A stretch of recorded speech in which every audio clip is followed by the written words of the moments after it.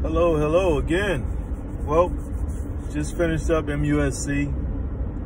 I'm headed to uh, Myrtle Beach right now, Georgetown. Georgetown, South Carolina.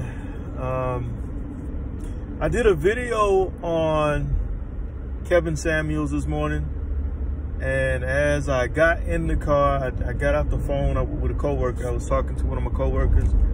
And then I got another phone call from the hotline. You guys don't know what the hotline is, but anyways, um, I decided to uh, go on YouTube and listen to, you know, when I drive, I like to listen to different things on YouTube. I can't really watch it because I'm driving, but I like to listen to different things. So I, I said, let me see what's in my feed. I saw another Ke Kevin Sam Samuels video, and um, I've been talking about synchronicity for a good while now. And so the video that came up I started watching that, and a lot of things were right in sync with what I'm thinking, what's going on in my life right now. And it was Kevin Samuels, and I'm like, man, that's kind of weird. I, just, I was just, I just made a video about this guy. Now it's like we're in sync, uh, uh, close to being in sync, anyways. So I'm gonna play a little bit of it, the audio, and. Um, and I'll stop it from time to time to elaborate on some things. But let me play a little bit of his audio. I hope he, I hope this is not a copyright uh, issue, but I don't know how cool the brother is or not cool. So let me go ahead and play a little bit of it. Taking on so many pressures because that's just who we are as men. We break. So a lot of you ladies got to realize you're getting guys who are good dudes just no leadership or direction. Nobody told us the roadmap. So we're trying to figure out all this other stuff, and we don't like failing you. We don't like failing you, so a lot of dudes are, are scared too. Just like, well, I'm trying to become a man I never saw, a father I never saw, a husband I never saw, a brother I never saw, a friend I never saw, all while at the same time moving in the world. So, right there, he's talking about his dad not being in his life, um, and I'll let him explain a little bit more. I just had to give a little, uh, give a little, just elaborate on what he was talking about right there. This why I need y'all get. I need you ladies to understand that a lot of times y'all see us as brothers, men, and y'all y'all don't realize how important y'all's words are to men. That's why I said feminine, beautiful, and inspirational. I gotta stop him again right there. I think I, I truly do believe that women don't realize how powerful you guys' words are to your to your man. To your man. You know, because I, I tell my wife all the time, I you know, look, you don't realize how powerful your words are. Uh, your words can either tear your man apart or build him up like uh, a god. I mean, that, that's true. And I think any man will tell you the same thing. The words that come out of the woman's mouth, whether she's calling him a no good son of a bitch or whatever, or her her God or her king or her her everything. You know, you can do everything. Whatever you want to do, whatever you put your mind to, you can do it, baby. Those words are powerful. You don't realize how powerful your, your, your words are to your man. So when he said that, that was a, a, a bell that went off. I'm like, okay, this this seems like it's a little in sync with what I was what I've been thinking lately. I love the old school cartoon Popeye. Why? Because Popeye, Brutus, Wimpy, and Olive Oyl. But you realize the impact Olive Oyl had on Popeye. Not you can say he was a simp and this other because no no no no no no. Popeye became the best version of himself when he stopped trying to worry about when he stopped trying to worry about um, uh, dealing with Brutus. When every time Olive Oyl was in trouble, what would he do? He get his ass up there and pop a can of spinach. I want you guys to understand. You ladies need to understand. Your words to men are like spinach. I'm gonna tell y'all something, okay? Trust your Godfather. Ladies, your words. You gotta remember, if you care about a man you gotta, you gotta, you gotta chill on that sharp tongue because you're speaking to the scared little boy in him. Okay? I'm not supposed to break their code, but I'm old. I, I can risk it. I don't expect my young dudes to go out and risk it. But I'm gonna tell you, you're speaking to the scared little boy in him. You had our mothers had a direct line into our hearts. This is what Van Zant used to talk about. And many of us never learned how to communicate the right way. So you gotta be careful with your words when you're dealing with your man. And conversely, men, this is hard to understand too. She was raised by a mother who was more like a sister to her. It's like we were son husbands, they were daughter sisters, okay? So a lot of these women, boys may have gotten overly loved on, uh, or it's either it's extreme and there can be a lot of women, especially attractive women, their mother's biological instinct said, this is my younger replacement, right? So a lot of women went to get to their love for their mothers, and their mother's like, you tough, you be all right. So a lot of women don't know how to feel or emote, right? So, and then their dads weren't around, just like our dads weren't around, because just like when you with your uh, with your woman, right? If you got a kid, what's going on between you and your lady is what's between them. You her daddy, and that's her mama. Okay, so all these dynamics are going on. So think about your lady friend. Your lady friend Going through a bad area right now. Um, didn't have her dad in her life guess I'm going through a bad area. I'm in Mount Pleasant. Goodness to where she could be the pr- protected princess. And her mom didn't have her husband to where she had her man so that she didn't have to look at her daughter as her replacement. So her daughter is not being protected like a princess, going to her mother, not getting, um, not being able to speak to her mom in a, a loving way, stuff coming up.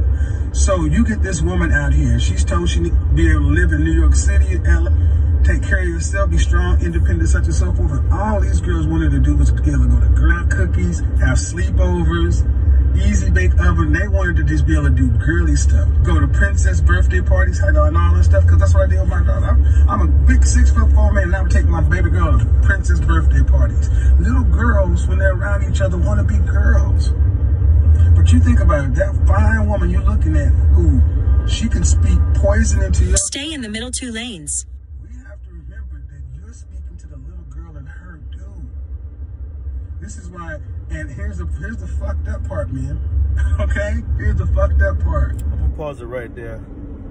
Yeah, and I never looked at it from that from that uh, perspective. I guess I have, but I never really went in went, went into you know any deep thinking on um, you know my my wife or any woman that I've ever been with in in the uh, in the past as as you know being a little girl or looking at them as a little girl, and ultimately we all still have that kid inside of us, and if you can see that kid in a person you know, you can see past a lot of other things. You know what I mean? You can see when that little child is scared and hurt, and and and um, and you can address that little child versus being angry and looking at that that person as an angry uh, adult who should know better. You know what I mean? So I- I'll let him explain a little bit better. Okay, I'm gonna use a Kwame Brown, a dulo twist. Here's the fucked up part. Oh, so I had to stop it right there because when he shouted out Kwame Brown, I was like, okay, yeah, this is something weird going on. You know, I've never, I maybe you know, I don't know, maybe he has shot out Kwame before, but I, you know, I don't watch a lot of Kevin Samuels, but I thought that was kind of interesting that he shouted out Kwame Brown. The little broken boy in you has to step into the man to speak to the little girl in her before she can speak to the little boy in you. That is the problem. That's that's what comes with power, headship, and a penis. It ain't fair. It ain't fair. I know it ain't fair. Like, wait a minute. I didn't get it growing up, and she didn't get it growing up. Yeah, I can't change it, bro. I can't change it, and I don't like it. I don't like it either. I don't like that as young black men, you're having to step into a space that's that you didn't see. That's why I say we build it as we fly it. That's why I say all of us are broken. We got to give each other grace and mercy to, in order to, because somebody's gonna have to risk something for for any woman. And this is any woman, but especially black women. You know, everybody like, you hate black women. If I hated black women, I wouldn't talk to you. If I hated black women, let me tell you what I would do. If I hated black women, the, the, the way I can present an impact, I bring a bunch of non-black women in and, and, and give them the code on how to get black men to, to believe.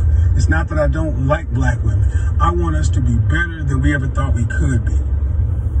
So I fucked up a lot in life. I've had a lot of pains, heartaches, all this other kind of stuff. And I'm sharing it with you so you don't have to. You can choose to say, ah, I don't like his delivery, I don't like his tone. But if you just get over the tone and understand the heart of the man that's trying to speak to you, I'm not trying to tear you down, but what I am telling you is this world cares nothing about all that stuff. When we are out here, everybody has a story, everybody has a problem, but ain't nobody coming for us. And when the winter comes, just like it was in that pandemic. You got single men, single women. We're all isolated, alone, and vulnerable. We are better off as a group.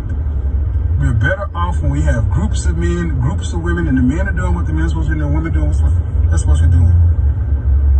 And there is nothing that's going to be require each one of us to, to be real with ourselves. And if you can find some group of men to, to be your wolf pack, your gauntlet, as it were, to keep you on task and in frame, to keep uh, that little boy scared part of you.